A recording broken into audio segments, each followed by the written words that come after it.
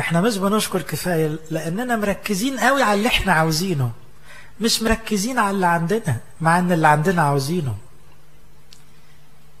إحنا مركزين على اللي ناقص. أنا عاوز إيه؟ طب ممكن أسألك عندك إيه؟ قبل عاوز إيه؟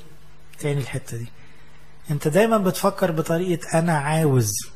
ينفع تفكر بطريقة أنا عندي؟ هتلاقي عاوز جت في الآخر خالص قد كده وعندي قد كده. لكن إحنا عندنا عاوز قد كده وعندي قد كده. فهمتوا؟ إحنا ليه مش بنشكر كفاية؟ أنا دايما في حالة عاوز مش في حالة عندي.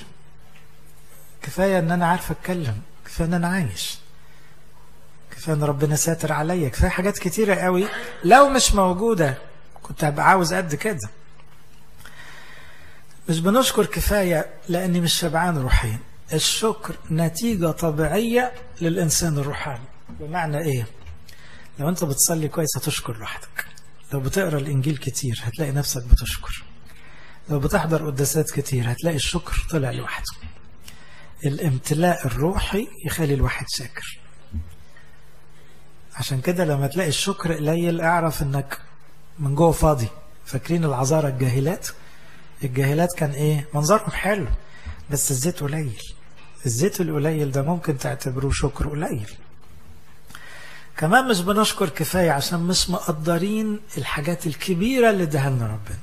انت مش مقدر انك اتولدت مسيحي انت مش مقدر انك بتتناول. انت مش مقدر كفاية انك بتقول أبانا الذي. انت مش مقدر إن اسمك اتكتب في السماء وانت ما دفعتش ولا حاجة. بس اتكتب.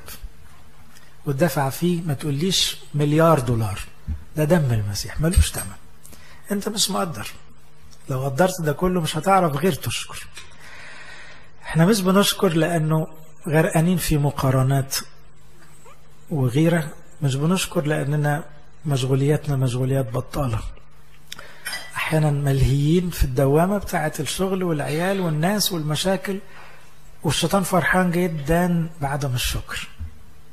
خلي بالكم الشيطان يكره الشاكر لأن الشاكر ده بالنسبة له متواضع عنده إيمان يحب ربنا عنده قناعة فالشيطان ما بيعرفش يدخل له.